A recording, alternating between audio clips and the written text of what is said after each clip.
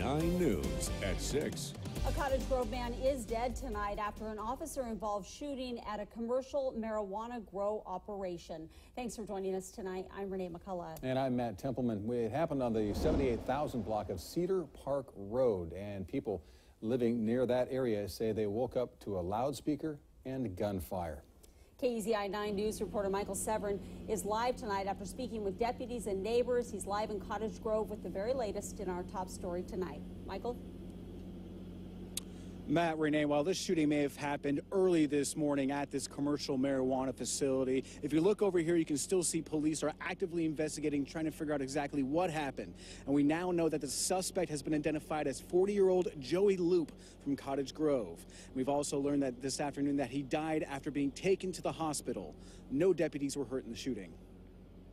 Just after midnight, Lane County Sheriff's deputies were called out to report of a dispute and shots fired at this commercial marijuana grow. They spent an hour trying to find the suspect in the middle of the night with no luck, so they brought in backup. It's a fairly large parcel of land.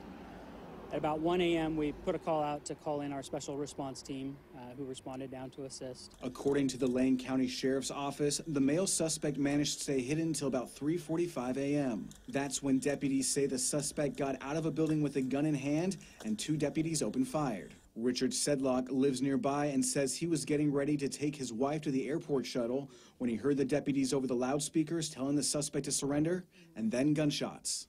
Didn't really know what to think with that much law enforcement on the scene because, uh, you know, there were spotlights on the building up there and lots of red and blue flashing lights. And I figured things are under control. The shooting is being investigated by the Lane County Interagency Deadly Force Investigation Team. Richard says in the past, neighbors have been at odds with the marijuana growers, but relations have improved in recent months.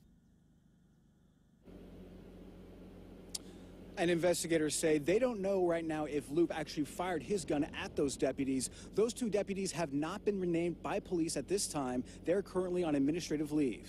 Reporting from Cottage Grove, I'm Michael Severin, KEZI 9 News.